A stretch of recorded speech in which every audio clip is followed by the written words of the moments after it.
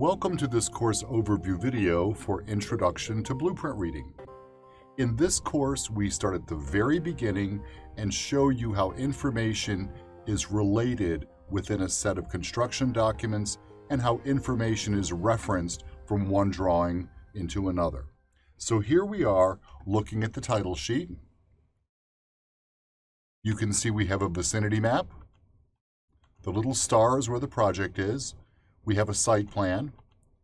We talk about drawing scale. We have fire notes, the development summary, and the sheet index. So you can see what professional disciplines are referenced in this set of drawings. We talk about the construction specifications. You can see there's information over here about the nailing schedule. Here are the Title 24 energy calculations. And here is an enlarged site plan the houses here in the middle. We show the different contours so you can see that we're showing more tightly coordinated contours closer to the building than farther away. This is a really enlarged site plan. And then we start looking at the floor plan.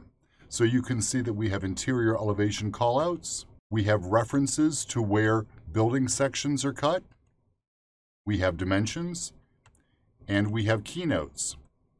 We talk about deltaing and bubbling and how information is updated as you're going back and forth with the regulatory agencies. So this is the main floor plan, and here's the name of the sheet right here, and it's page A2.1. Here is the lower level, the basement plan. Here is the upper level, and here we have building sections. So these are slices through the buildings. You can see that we have keynotes, that call out specific things. So here's the keynote list over here. We have datums that show the elevations of different components. And you can see here that this is a reference to an enlarged section. Again, more building sections. You can see we're screening out part of the building elevation in the background. You'll notice that it's a grayscale. We have the actual buildings. And again, you can see once again, we have keynote lists and we have keynotes, we have the datum elevations, more elevations, more keynotes. Here is the roof plan. And so we have again keynotes, and here's what they are. You can see once again, we have the building sections. There's one here, one here, here, and another down here.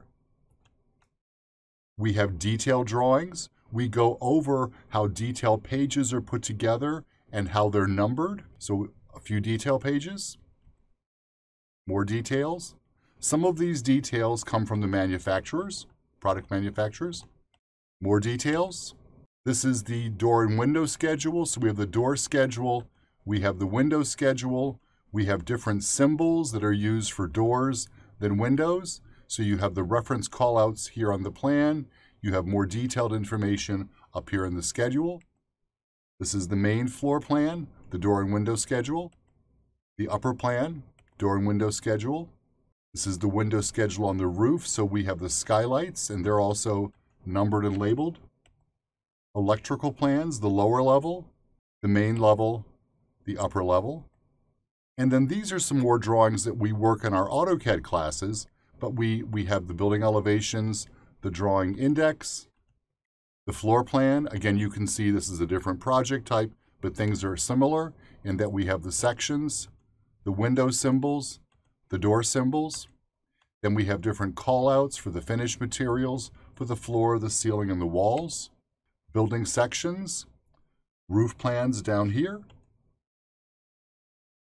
Building elevations. Again, we have keynotes, these are detail callouts. Again, here are the keynotes over here. Bathroom interior elevations, door schedules, window schedules. Again, this project includes the same information in this project that we do in our AutoCAD classes, but it's the same kind of information that's conveyed, but in just a different way. We have enlarged wall sections, and we have some details. This is the hardscape plan. And then we wrap this course up going over egress, which is life, safety, welfare. making sure that the occupancy load, the number of people in a building is appropriately calculated so that people can depart the building safely in a time of emergency. So we hope you enjoyed the course and we look forward to seeing you in this Introduction to Blueprint Reading class.